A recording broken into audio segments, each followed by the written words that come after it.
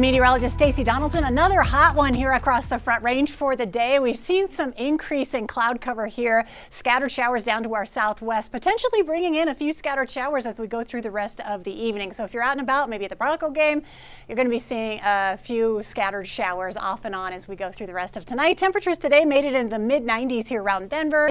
The record today 100, but we made it to 95, so no record breakers today. Temperatures in the 80s across the plains, triple digits down through southeastern Colorado and those 70s and 80s into the higher elevations. As for our weather headlines, the first day of school tomorrow for Denver, it'll be a nice warm day. Temperatures around 90 degrees. So even though it's the end of summer for the students, it's still going to feel like summer outside. We'll have some scattered afternoon thunderstorms as well.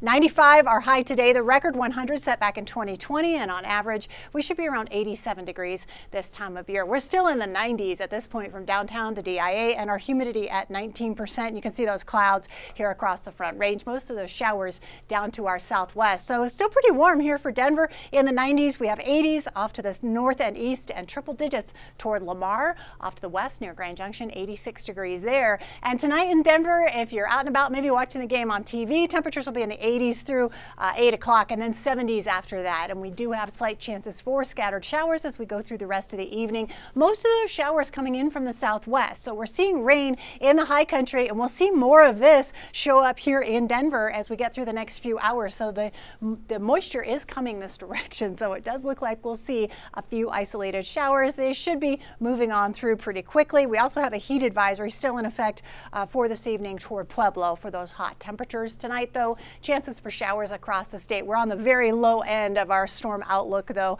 uh, for our uh, outlook for severe weather tonight. Partly cloudy skies, temperatures in the low 60s overnight, temperatures in the 60s here across eastern Colorado, 50 in Alamosa and in Gunnison. And if you're in Aspen, 50 degrees for you. Right here around Metro Denver, low to mid 60s for those overnight lows. First day of school tomorrow, temperatures starting out in the mid 70s. It's definitely shorts weather tomorrow with highs around 90 degrees, and we will have scattered shower chances tomorrow during the day. So just keep that in mind. Temperatures in the 80s and 90s here for the eastern part of the state, 70s and 80s for the mountains. So if you're looking to cool off a little bit, head to the west. Temperatures will be very nice. With the bus stop forecast, 75 on the way to school, 88 degrees on the way back home, with a chance for those scattered thunderstorms moving on in. So our super seven day forecast keeping it pretty hot here into the beginning of the week. We'll have good chances for storms through the middle of the week on Wednesday and Thursday. Highs dropping into the upper 80s throughout the end of the week, and then more sunshine into next weekend. 90 on Saturday, 88 on Sunday.